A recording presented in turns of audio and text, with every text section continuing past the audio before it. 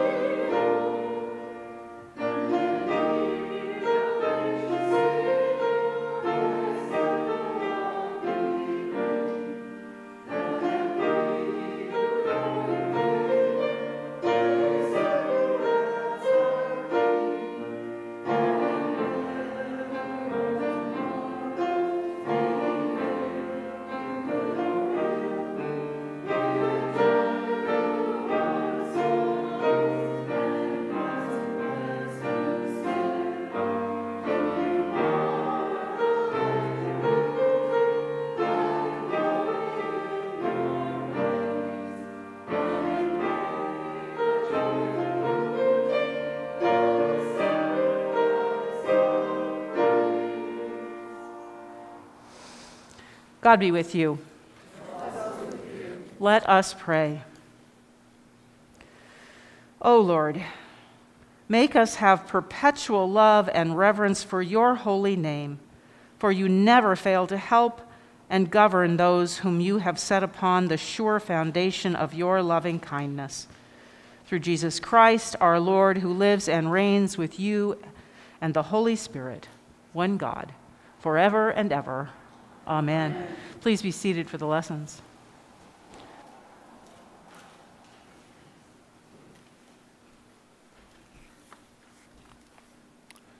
The first reading is from the book of Isaiah, chapter 65.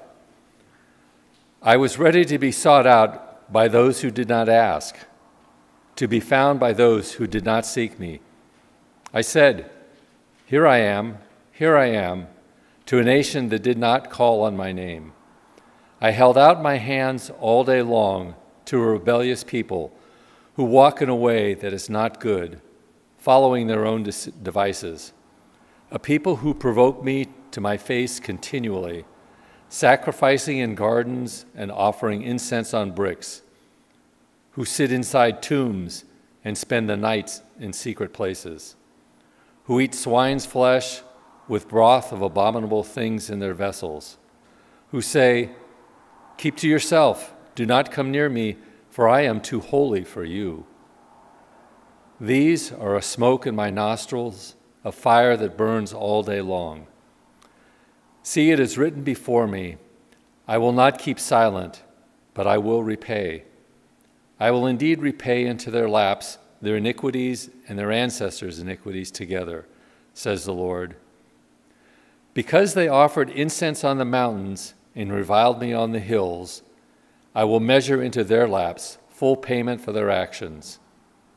Thus says the Lord As wine is found in the cluster, and they say, Do not destroy it, for there is a blessing in it. So I will do for my ser- servant's sake, and will not destroy them all. I will bring forth descendants from Jacob, and from Judah inheritors of my mountains. My chosen shall inherit it, and my servants shall live there. The word of the Lord. Thanks be to God.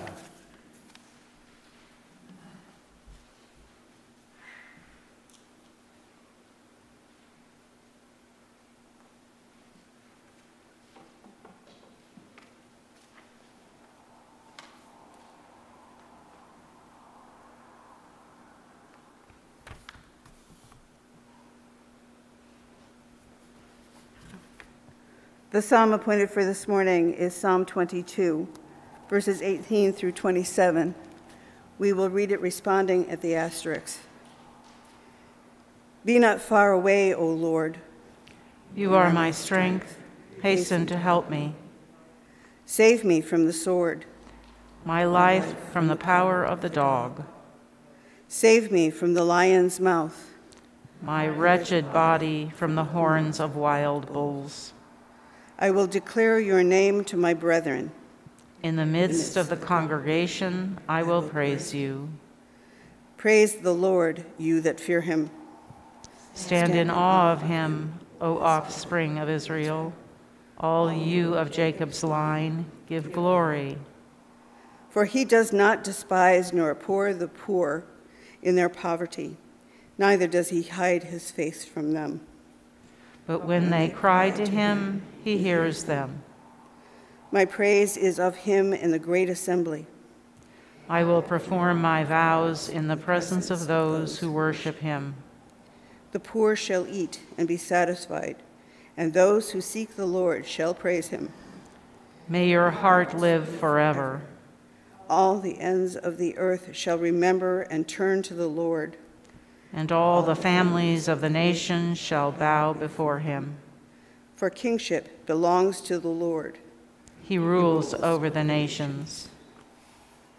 The second reading is from Galatians chapter 3. Now, before faith came, we were imprisoned and guarded under the law until faith would be revealed.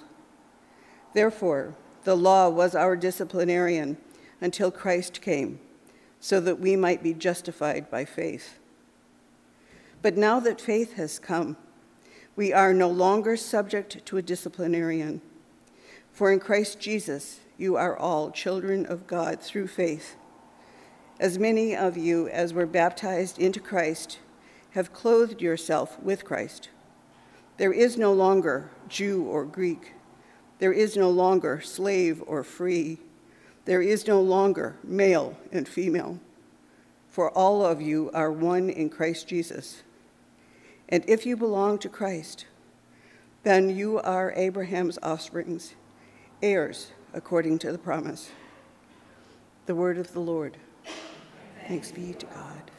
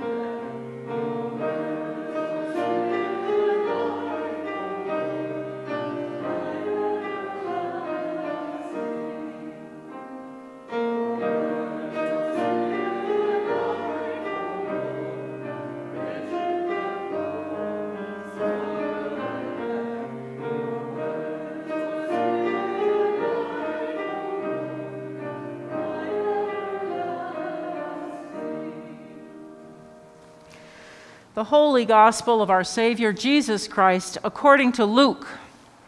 Glory to you, Lord Christ. Jesus and his disciples, oops, sorry. Jesus and his disciples arrived at the country of the Gerasenes, which is opposite Galilee. As Jesus stepped out on land, a man of the city who had demons met him. For a long time he had worn no clothes, and he did not live in a house but in the tombs. When he saw Jesus, he fell down before him and shouted at the top of his voice, What have you to do with me, Jesus, Son of the Most High God? I beg you, do not torment me. For Jesus had commanded the unclean spirit to come out of the man. For many times it had seized him. He was kept under guard and bound with chains and shackles, but he would break the bonds and he would be driven by the demon into the wilds. Jesus then asked him, What is your name? He said, Legion, for many demons had entered him. they begged him not to order them to go back into the abyss. Now, there on the hillside, a large herd of swine was feeding, and the demons begged Jesus to let them enter these. So he gave them permission. Then the demons came out of the man and entered the swine, and the herd rushed down the steep bank into the lake and was drowned. When the swineherds saw what had happened, they ran off and told it in the city and in the country. Then people came out to see what had happened, and when they came to Jesus, they found the man with whom the demons had gone sitting at Jesus' feet, clothed and in his right mind, and they were afraid. Those who had seen it told them how the one who had been possessed by demons had been healed. Then all the people of the surrounding country of the Gerasenes asked Jesus to leave them, for they were seized with great fear. So he got into the boat and returned. The man whom the demons had gone, from whom the demons had gone, begged that he might be with him. But Jesus sent him away, saying, Return to your home Declare how much God has done for you. So he went away, proclaiming throughout the city how much Jesus had done for him. The Gospel of the Lord.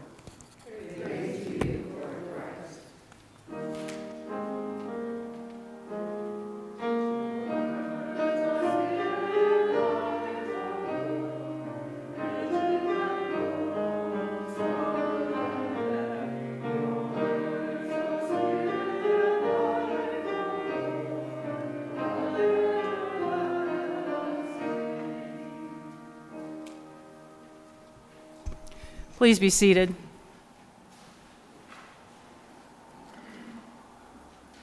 I'm laughing because uh, you, you saw my microphone fall apart, right?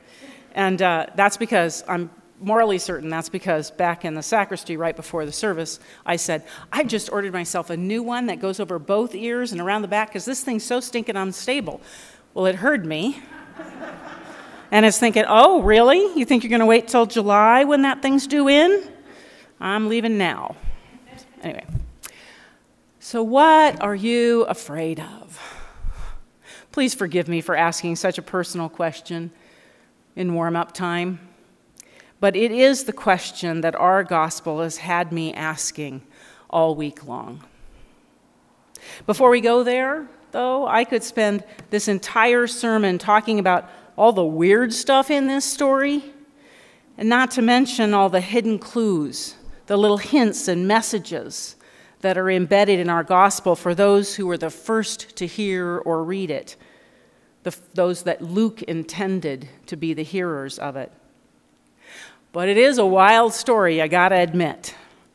We have a naked, screaming man living in the town cemetery, an overly talkative demon, or, or should I say demons, an instant healing, a whole herd of apparently suicidal pigs, an entire town so terrified by this event that they asked Jesus to leave them the heck alone.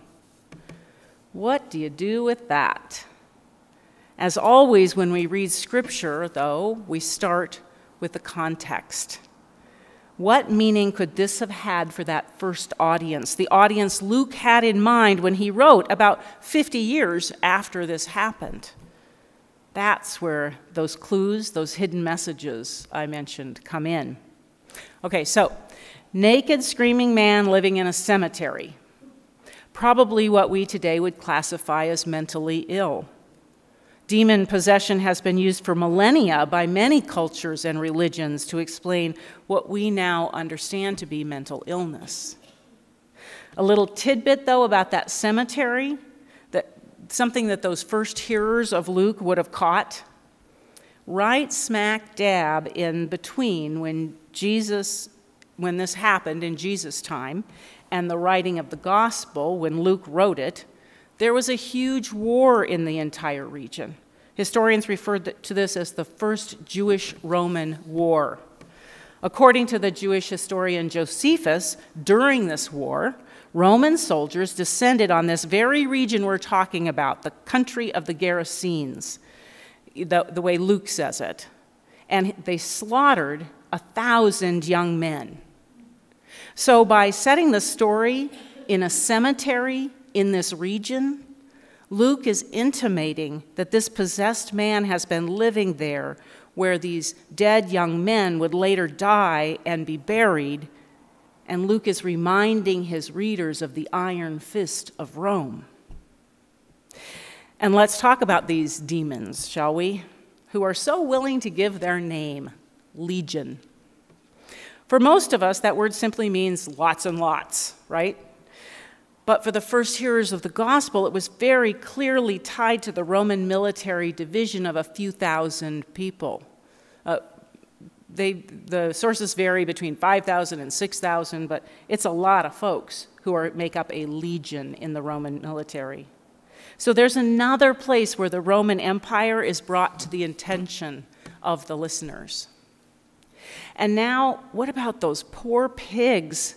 Here they are just minding their own business, munching and grunting away, when suddenly they are filled with demons and the overwhelming desire to drown themselves. Two little things to note here. First of all, remember that pigs were considered unclean in the Jewish culture. So, this is just a little reminder that Jesus had entered Gentile territory. And not to belabor the whole Roman military point, but Luke seems to, so I'm going to too. The very legion of soldiers that took back this area during the first Jewish uh, Roman war had, as one of their symbols on their banners, a pig. Yet another little sign to those hearing and our terrified townspeople. Oh, that is where I think our entry point is the point where we get to be part of the story. The place where we can ask, what scared them so much? And is it, maybe, just maybe, the same sort of thing that scares us today? Let's look at our story. Here's a town that has been dealing with a very sick man for a very long time. They have figured out how to manage this problem. They have figured out how to exert some control over it by putting him out there in the wild. Sometimes, when his howling intrudes too much on their lives, they catch him and chain him up. No doubt with the justification of keeping him safe. But let's get real. That sort of thing is way more often not about keeping the community or not about keeping the person safe, but keeping the community safe. Let's just look at the history of the treatment of mental illness in this country. Didn't we used to do the exact same thing? We'd lock people away in sanitariums to keep them safe, when really, they just scared us. And they still scare us. I mean, we're still trying to figure out how to have control, how to keep ourselves and our children safe from mentally ill people because they're the ones that we blame from everything from houselessness to mass shootings. Something has to be done, is the cry. And conveniently, many of us seem to think that the problems we face are not so much about the economy or violence, but about those people with mental illness. So, why didn't the town people embrace Jesus? Why didn't they throw him a ticker tape parade when they came back and found this formerly ill man completely healed, dressed, sitting at the feet of Jesus, uh, which, by the way, I can't help but mention is another little clue because that is the position that a disciple takes. Instead of singing Jesus' praises, they boot Jesus out. What's up with that? Now, some scholars will tell you that this is the story of Jesus' foray into the Gentile territory, and the rejection he experiences is the reason he doesn't go back. But rejection never really seemed to faze Jesus much, did it? It might even have been, though, part of Peter's initial reluctance to allow Gentiles to receive the message of salvation. For our purposes today, though, I think it's far more interesting to dig into what scared those town people so much. So much that they would reject the person who was being followed all over the place and healing wherever he went. They were afraid of Jesus, whom they had just seen cure this raving man whom they considered possessed.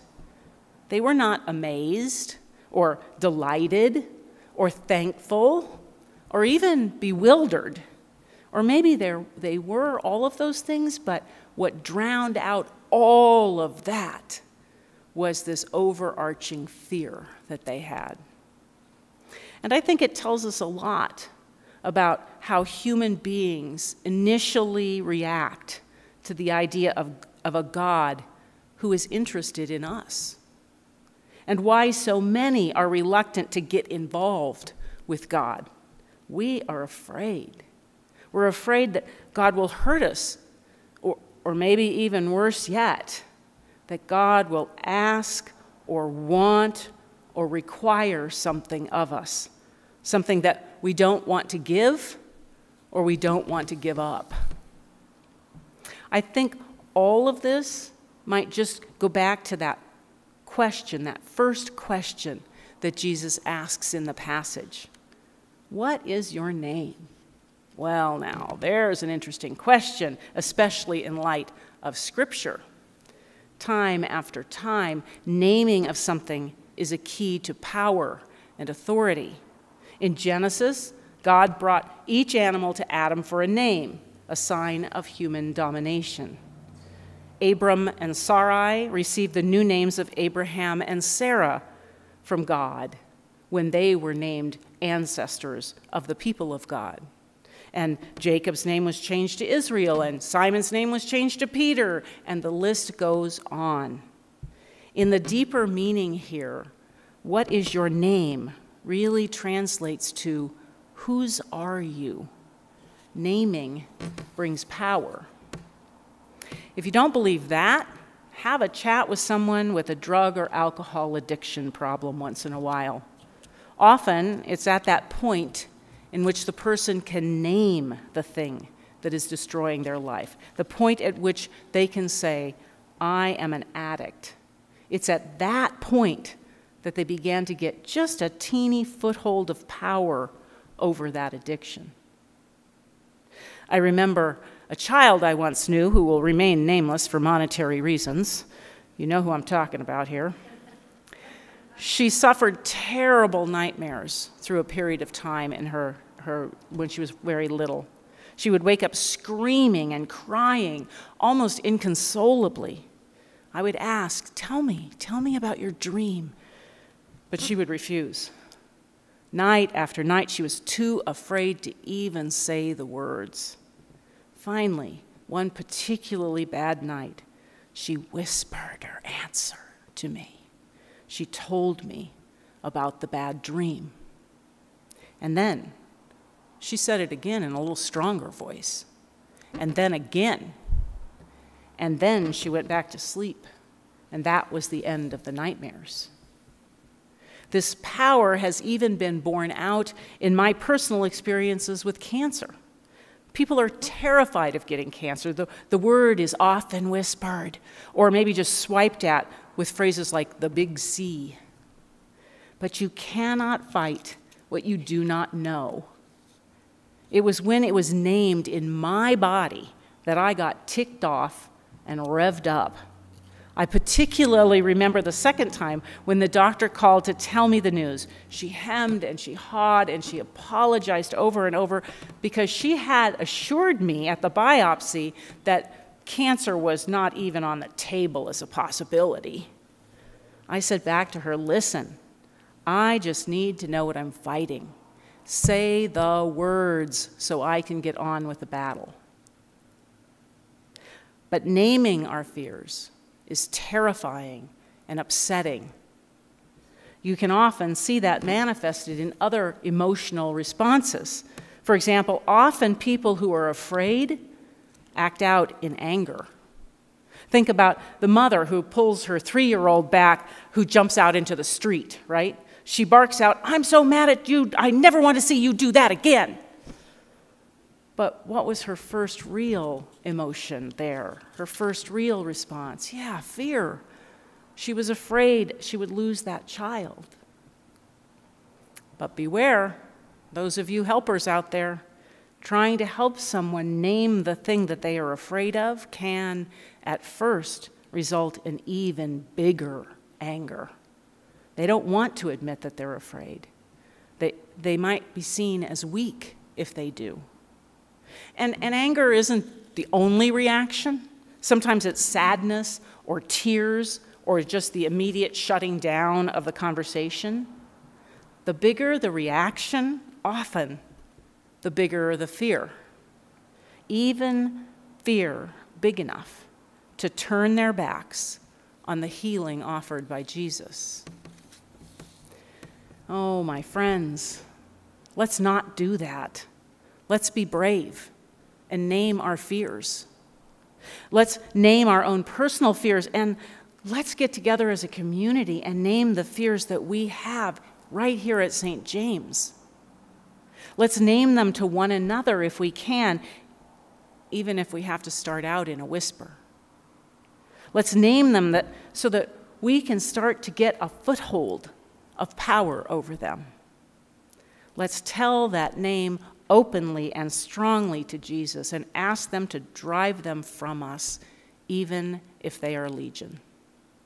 Amen. Going to have to give me a second for the tech change here.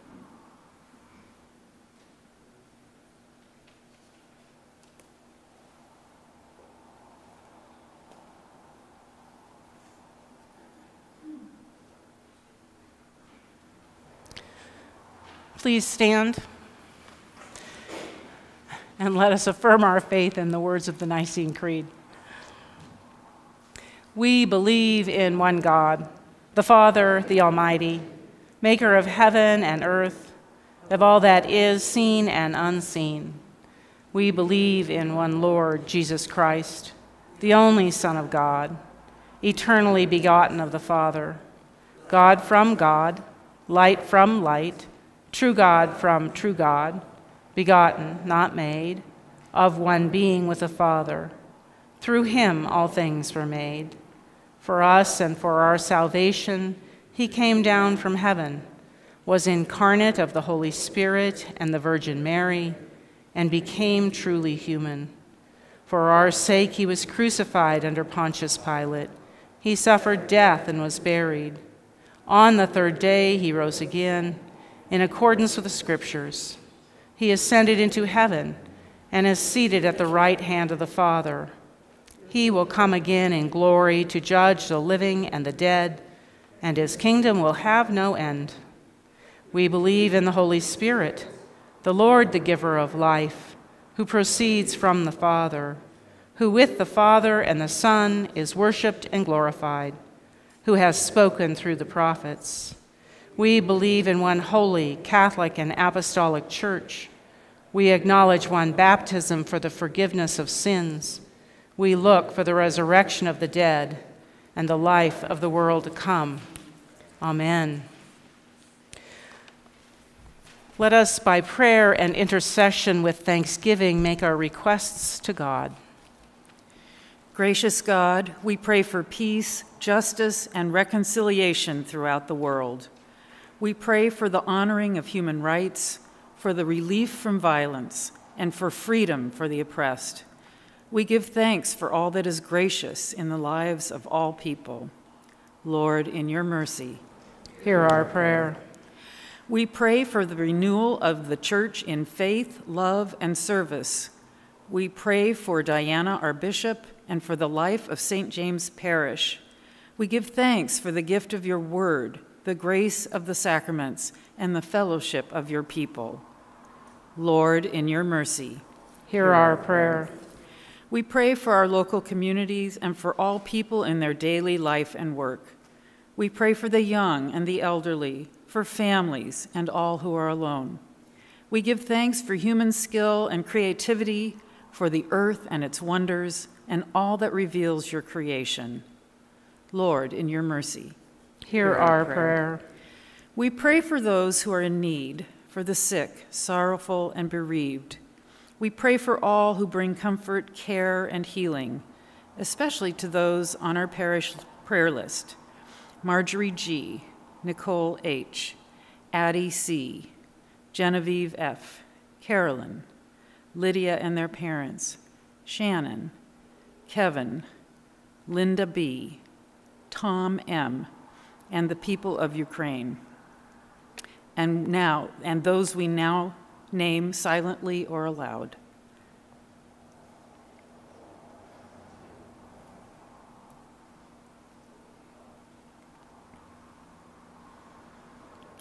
We also pray for St. Stephen's Episcopal Church in Vestavia, Alabama.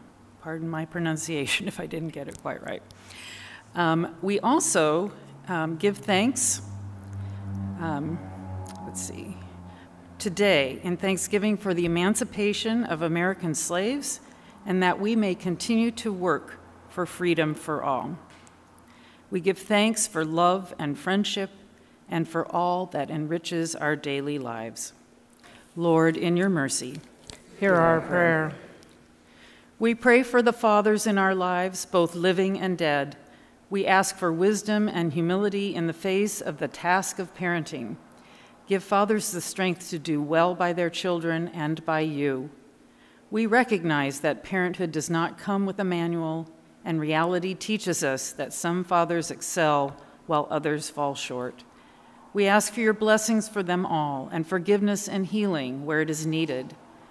We give thanks, we, sorry, we give thanks for all, whether they have had children or not, who have helped fill the void when fathers are absent grandfathers and uncles, brothers and cousins, teachers, pastors, and coaches. Lord, in your mercy. Hear our prayer. We pray for those who have died. Conqueror of death, remember those whom we love but see no longer, especially those we name now silently or aloud. John. Bill. We give thanks for the gift of their lives. Help us to live this day in the sure and certain hope of your eternal victory. Lord, in your mercy, Hear our prayer. let us commend ourselves and all for whom we pray to the mercy and protection of God. To you, O Lord our God, Almighty and eternal God, ruler of all things in heaven and earth, mercifully accept the prayers of your people and strengthen us to do your will through Jesus Christ our Lord. Amen. Um, let us confess our sins against God and our neighbor.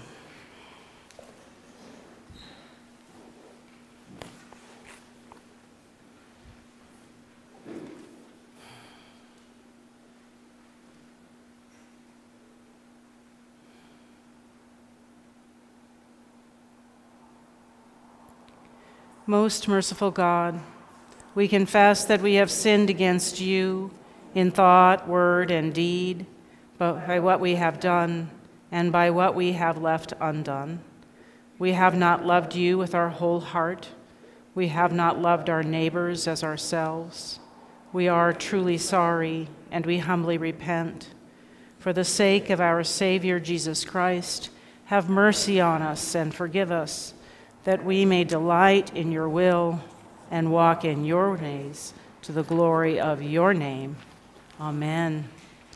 Almighty God, have mercy on you, forgive you all your sins through the grace of Jesus Christ, strengthen you in all goodness, and by the power of the Holy Spirit, keep you in eternal life. Amen.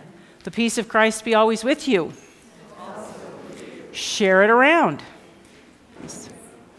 Peace.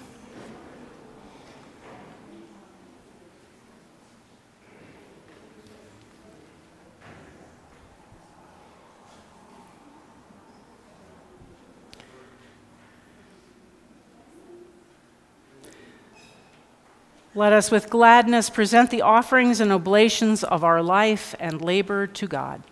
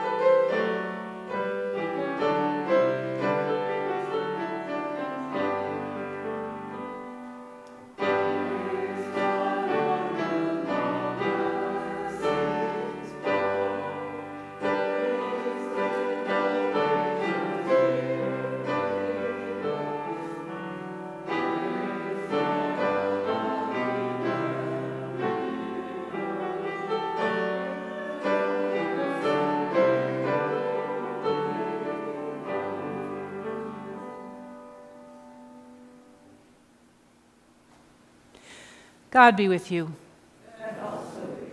Lift up your hearts. Let us give thanks to the Lord our God. God of all power, ruler of the universe, you are worthy of glory and praise.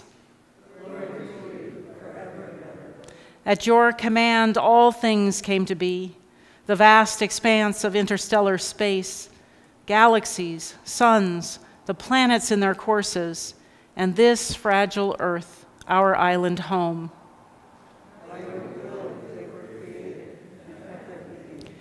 From the primal elements, you brought forth the human race and blessed us with memory, reason, and skill. You made us the rulers of creation, but we turned against you and betrayed your trust, and we turned against one another.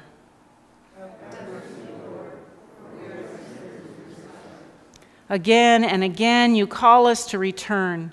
Through prophets and sages, you revealed your righteous law, and in the fullness of time, you sent your only Son, born of a woman, to fulfill your law, to open for us the way of freedom and peace.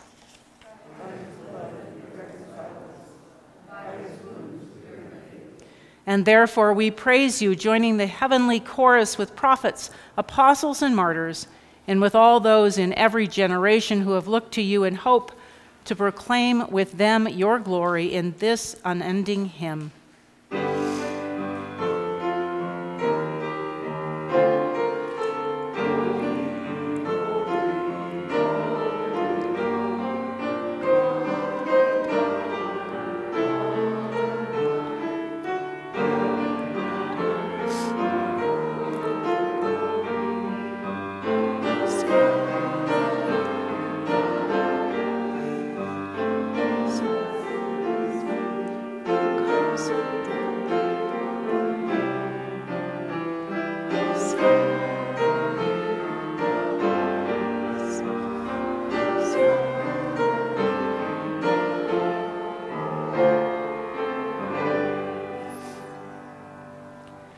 And so, Father, we who have been redeemed by him and made a new people by water and spirit, now bring before you these gifts. Sanctify them by your Holy Spirit to be the body and blood of our Savior, Jesus Christ. On the night that he was betrayed, Jesus took bread, said the blessing, broke the bread, and gave it to his friends and said, Take, eat. This is my body, which is given for you. Do this for the remembrance of me.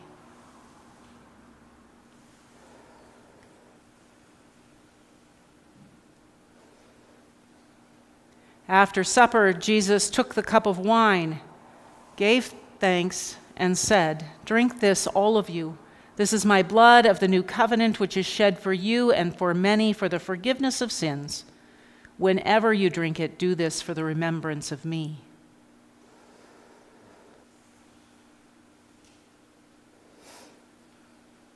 Remembering now his work of redemption and offering to you this sacrifice of thanksgiving, we celebrate his death and resurrection as we await the day of his coming. Lord God of our ancestors, God of Abraham and Sarah, Isaac and Rebekah, Jacob, Leah, and Rachel, God and Father of our Savior Jesus Christ. Open our eyes to see your hand in the work in the world about us. Deliver us from the presumption of coming to this table for solace only and not for strength, for pardon only and not for renewal. Let the grace of this Holy Communion make us one body one Spirit in Christ, that we may worthily serve the world in his name. Risen Lord, be known to us in the breaking of the bread. Accept these prayers and praises, Father, through Jesus Christ, our great high priest, to whom with you and the Holy Spirit your church gives honor, glory, and worship from generation to generation. Amen. And now, as our Savior Christ has taught us, we are bold to say, our Father, who art in heaven, hallowed be thy name. Thy kingdom come, thy will be done, on earth as it is in heaven. Give us this day our daily bread, and forgive us our trespasses, as we forgive those who trespass against us. And lead us not into temptation, but deliver us from evil. For thine is the kingdom, and the power, and the glory, forever and ever. Amen. Alleluia, Christ our Passover is sacrificed for us. Therefore, let us eat the feast. Alleluia. The gifts of God for the people of God.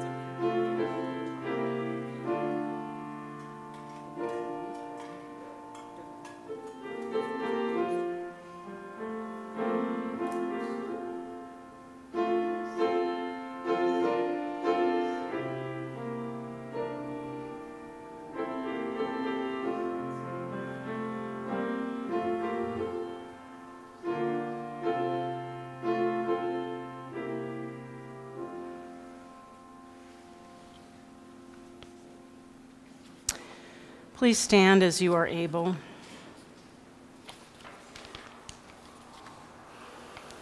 And let us pray.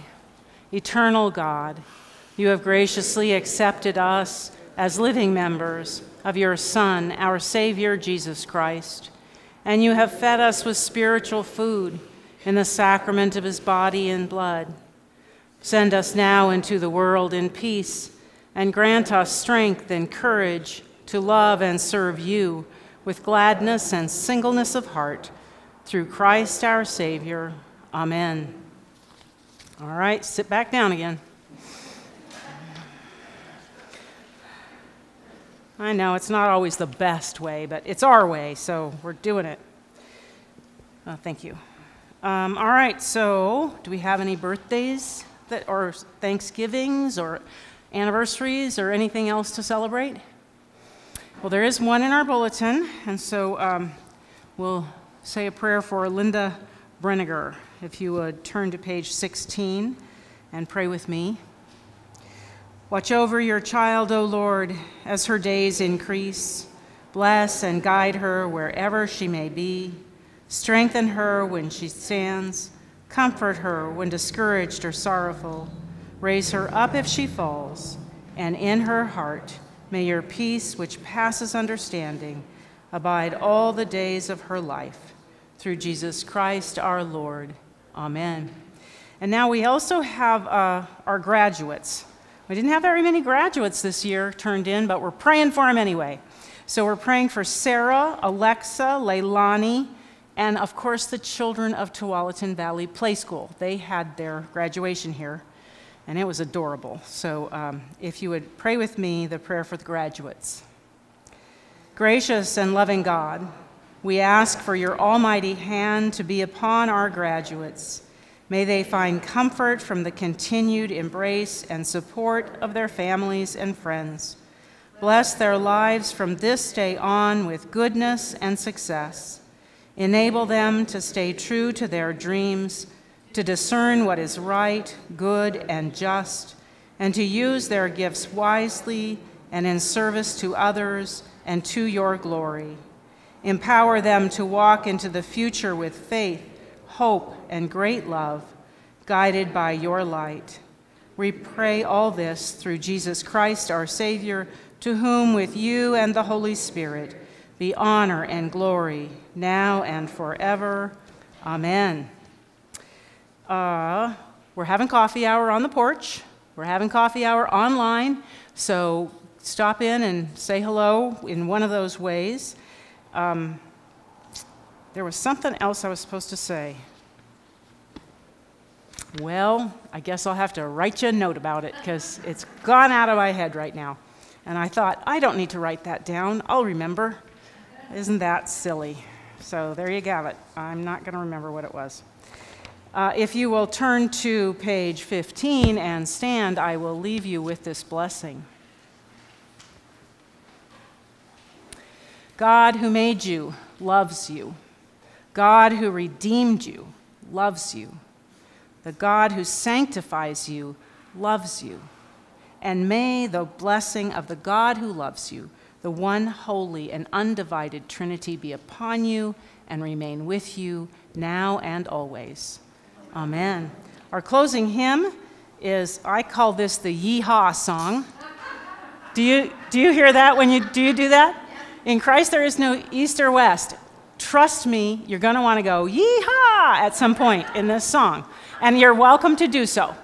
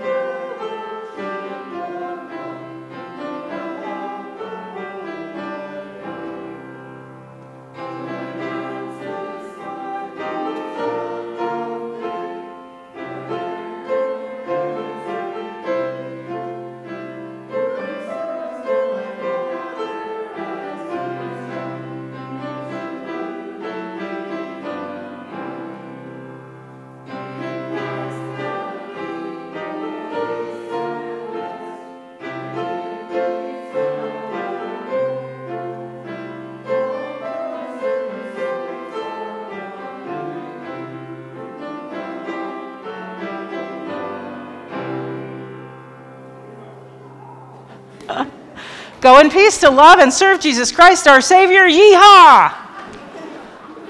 Let me hear it. Thanks be to God. Yeehaw.